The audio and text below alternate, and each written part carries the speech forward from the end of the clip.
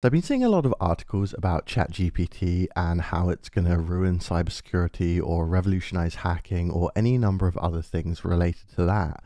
And I've been looking into a lot of these claims and I think they're a little bit overblown. Now, let's take the claim that ChatGPT can write malware.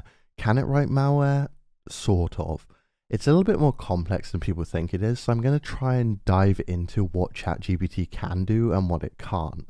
Now, you see a lot of articles where they're demonstrating ChatGPT writing malware, and then they're like, well, look, uh, someone who doesn't know how to code could take this, they could use ChatGPT to write their malware, and then they could run with it. But I think what's happening here is a little bit of reverse Dunning Kruger. Uh, but essentially, these people are cybersecurity experts, or at least professionals in the field, and they don't understand how little someone who doesn't know how to write malware knows about malware. Like I can go on ChatGPT right now and I can say, hey, uh, write me some C code that injects into this process, hooks these functions, uploads the data to this uh, server over this protocol. And sure, it, it might do that. And I say might because I've actually tried to do this with ChatGPT and it didn't go very well. Now, just for fun, I decided to put on my old malware developer hat and dive into making some ChatGPT malware. So first up, I asked it to write some position-independent code to inject into uh, the Explorer process. Now, the code it wrote used the MinHook hooking engine, but it made no mention of that. Now, since that library is not a Windows default library, and it made no uh, effort to import it, the code simply just won't work because it's calling functions that do not exist. Uh, but I didn't really want to mess with that, so I decided to actually work on the injection code. So I first off asked it to write some code to inject shellcode into a process, and it made me this code.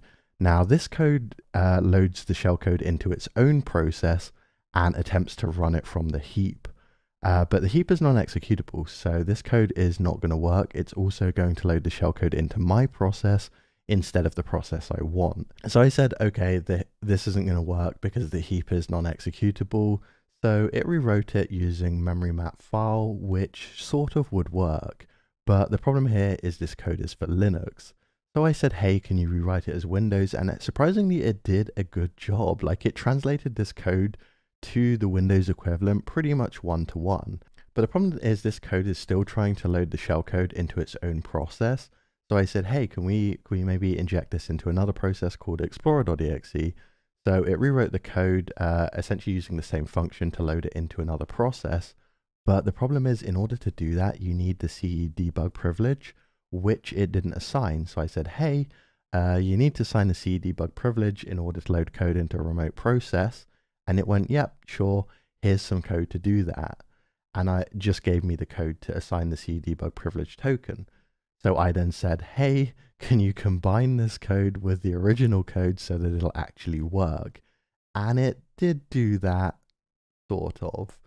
It basically added the SE debug privilege code after the injection code, which means it requests the privilege to do the injection after already trying to do the injection, so it's not going to work. It's just going to explode. Um, I basically just gave up and I was like, I could have written this myself faster than I'm ever going to get to some actually functioning code with ChatGPT. But like, imagine I wasn't a professional malware developer and I didn't know all of these things. Well, I've just gotten five different code snippets that either don't do what I asked or just completely don't compile or explode on execution. Like, in order to get to a state where this code actually works, I need to be a very uh, proficient programmer. And if I wasn't, I would have just tried to compile the first piece of code. It would have exploded, and then I'd be very, very confused. Now, someone who doesn't know how to code, well, they're not going to know what code injection is. They're not going to know why it's useful, what processes they should inject into, what they should hook. They're not going to know the questions to ask. And I think that's the part that people miss is being an expert is as much knowing what questions to ask as being able to do the thing. Like there are tons of theoretical physicists who have never done an experiment in their life, but that doesn't mean they're not experts. They know the right questions to ask, how all of these different components fit together, and how to work around them. Whereas someone who doesn't understand malware isn't going to know how to code it, and they're certainly not going to know how to design it. So I think it's a little bit of a case of you've got these people who do understand malware and they're showing that ChatGPT can be used to write malware. But the thing is, that is only if you already understand what you're doing. I'm sure we could just go and find some random person who maybe they're interested in hacking, they know a little bit about malware, but they don't really know how to design it. And we can sit them in front of ChatGPT, and I would be confident that they would never get a working piece of malware out of it. And then, kind of on top of that, anything ChatGPT could do, that means the good guys can do it too. So, if someone did get ChatGPT to write a full malware operation for them, then one of the blue teamers can come over, ask ChatGPT those same questions, and then get everything they need to block. So it's really just, even if ChatGPT did increase capabilities, which I don't think it does personally, it increases capabilities for both the bad guys and the good guys. So it's not really any net different. But I think what the big misunderstanding here is people are thinking ChatGPT is an all knowing AI because they can ask it any question and it usually gets the right answer. But so does Google. And we don't think Google knows these things. Like we just know that when we type this query into Google, it knows how to match that query with a specific web page but it doesn't know what the content of that web page means. It is just blindly referring things because it put this question with this answer. Like it's it's essentially combining questions and answers, which is what ChatGPT does.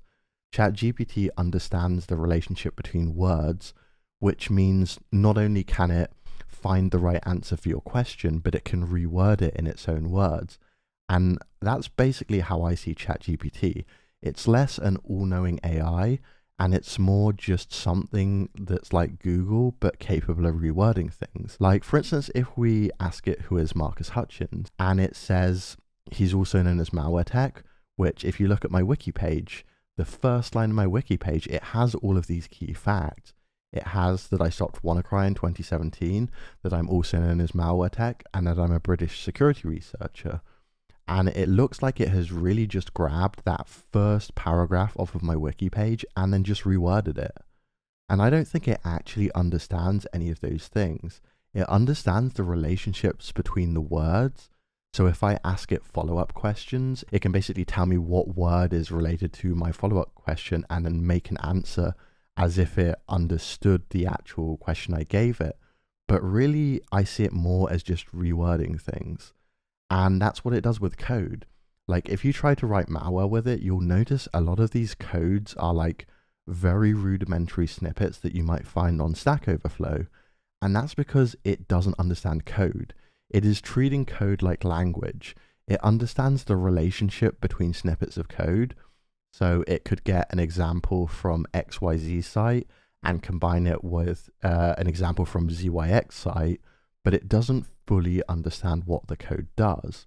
And with malware, a lot of the example code is just very rudimentary, not very useful stuff. So, uh, like if you look at a lot of the actual the examples where people are like, "I got ChatGPT to write malware," it's Python code, and the reason behind that is there are the most snippets of Python, and uh, so it's just basically just taking Python snippets and then doing malware stuff with that but Python doesn't run on computers. Like you need the Python interpreter to be installed. If you're writing malware, you would want it to be in a native language. And when you start trying to translate Python to native languages, ChatGPT just it just loses it. It really doesn't know what it's doing there. And that's the hard part about writing malware. Like anyone can write code, but actually understanding the techniques and the technologies and like why it does what it does, that is the hard part. And then on top of that, there's the actual operation. I could give someone uh, a fully working malware sample, uh, some macro documents to spread it, uh, a C2 server, and say, "Hey, go go uh, go ahead and run your own malware operation," and they would fail. Like, there's a lot that goes into running a malware op, from like the crypting to the cycling out the C2 IPs and C2 domains as they get suspended or detected by the firewalls and this is all stuff that only people who are very familiar with malware are going to know. And if you're super familiar with malware but you can't code, well, you can just hire a coder from Fiverr and explain what you want them to do. It's not hard. So ChatGPT doesn't really fill in any gaps that weren't already filled in. It may be if you were very, very experienced in running malware operations and designing malware, but for some reason you couldn't code at all and you didn't have money to just pay a coder $5 from the internet, then maybe it would help you. But that's a very, very small segment of the population. And I just really don't think it's going to cause the big security impact that people think. I think the real risk of ChatGPT is it is a language model. It understands language. So it might be good at automating phishing. Like typically with more advanced phishing, you've got to convince them to work with you. It's not just a one time thing of here's a phishing page, enter your username and password. You've got to kind of coerce them into working with you, approving 2FA prompts, uh, maybe installing something on their machine. And ChatGPT could just take the human out of it. You could have like a, a script that seems like it's a human because ChatGPT does have a very good understanding of language, and you could have it replace the human aspect it's not replacing the knowledge, it's just replacing the language part. So we don't need to actually manually call the victim. We could have uh, the AI do it for us. But outside of that, I really don't think it's going to be writing undetectable malware. It's not going to be hacking people. It's not going to be doing anything that's even remotely impressive. Anyway, so those are my thoughts on ChatGPT. I really do think uh, its threat to cybersecurity or really to anything is overhyped. But if you disagree, like let me know in the comments and I'll maybe do a follow-up video.